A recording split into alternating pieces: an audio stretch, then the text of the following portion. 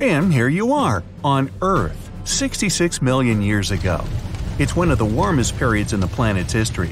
There are no ice caps yet. Everything is lush and green.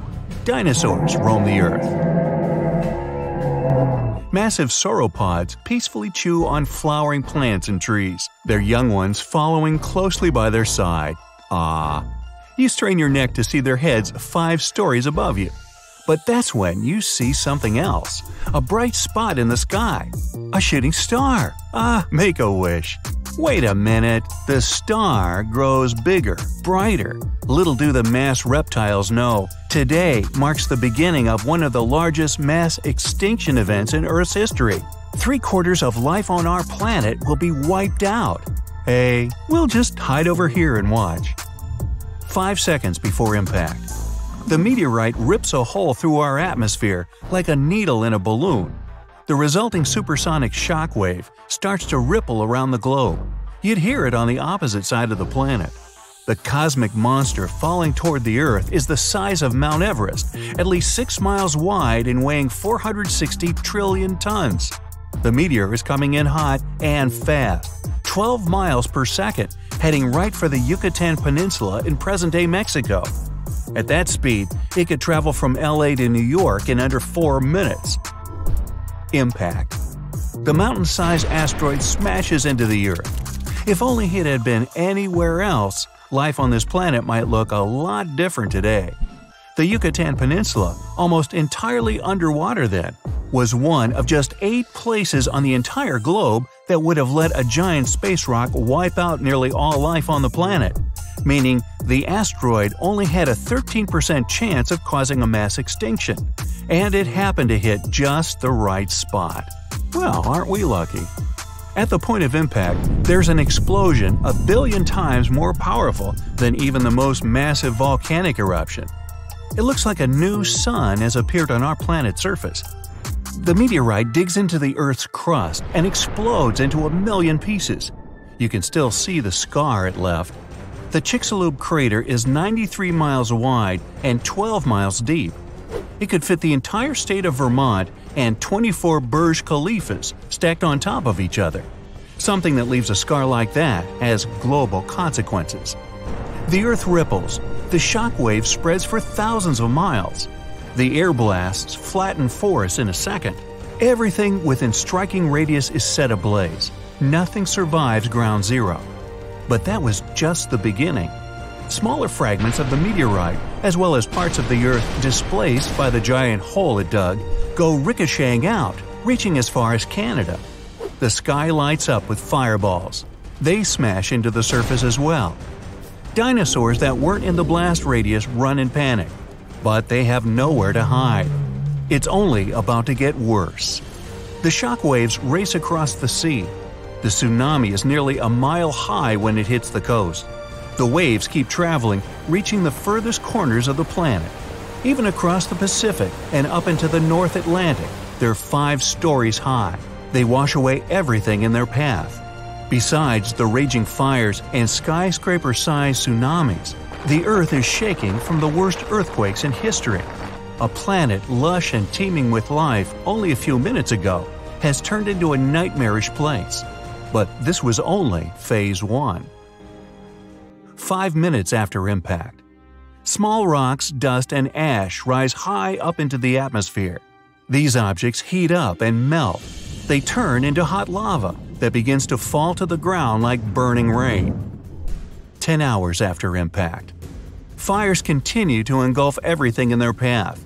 Some surviving dinosaurs in North America try to escape to unknown territories, but now they're in dense swamps and can't escape. One month after impact. 15 trillion tons, 2.5 million times the weight of the Great Pyramid of Giza, that much ash and soot are released into the atmosphere. The cloud covers the entire planet and blocks out the sun. The Earth sinks into darkness. Surviving plants can't photosynthesize. Oxygen levels drop. Any animals left at this point are finally done in from lack of air. But the worst consequence was the extinction of phytoplankton. The entire oceanic food chain starts to collapse like a house of cards. Many marine animals have lost their main source of food. Surviving animals on land also can't find anything to eat. There are no plants for the herbivores, and soon no herbivores left for the meat eaters. And still, there's the acid rain. The Chicxulub meteorite hit a place where there was a lot of sulfur. The heat of the impact vaporizes the toxic gas instantly. It mixes with the air in the atmosphere. Acid rains fall all over the planet. The oceans become toxic. And if all that doesn't get them, the cold finally finishes off the job. With the sun blocked out, the burning fireball that is our planet starts to cool down. What's left in the wake? Plants are a little luckier than animals. Seeds and pollen are able to survive these harsh times. The first to slowly paint the charcoal planet green are ferns. The wind carries their seeds, sprinkling them across the earth over 10 years. Then come the palms. The new planets produce oxygen and feed small mammals.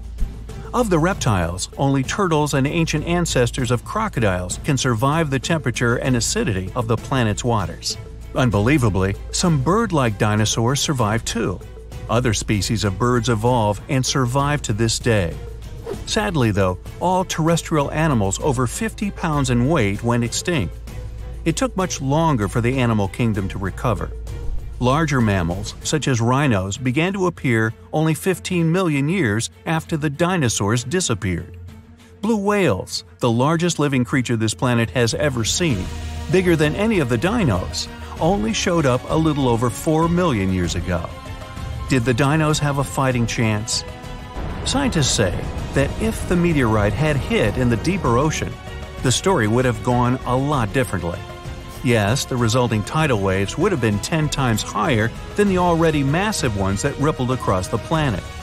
But even a giant mega tsunami wouldn't be able to wipe out 75% of plant and animal life on Earth. What really did the dinosaurs in was the global blackout.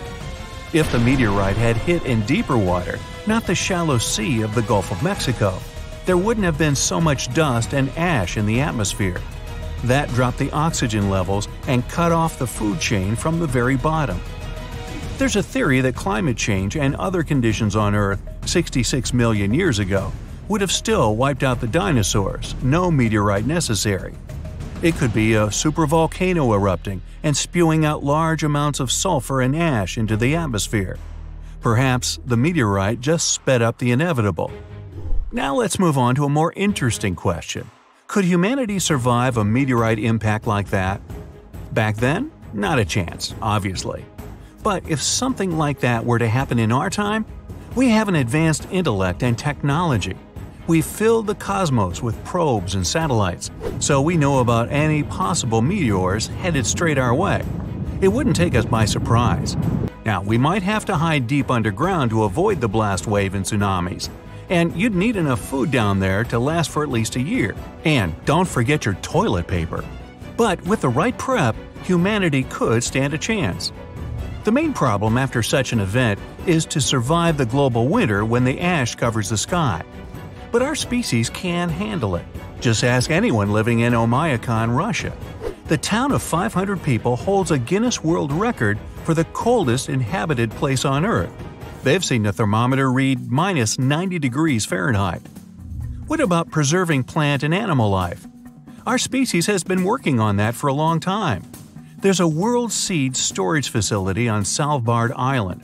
It's about 40 stories underground and can hold over 2 billion samples.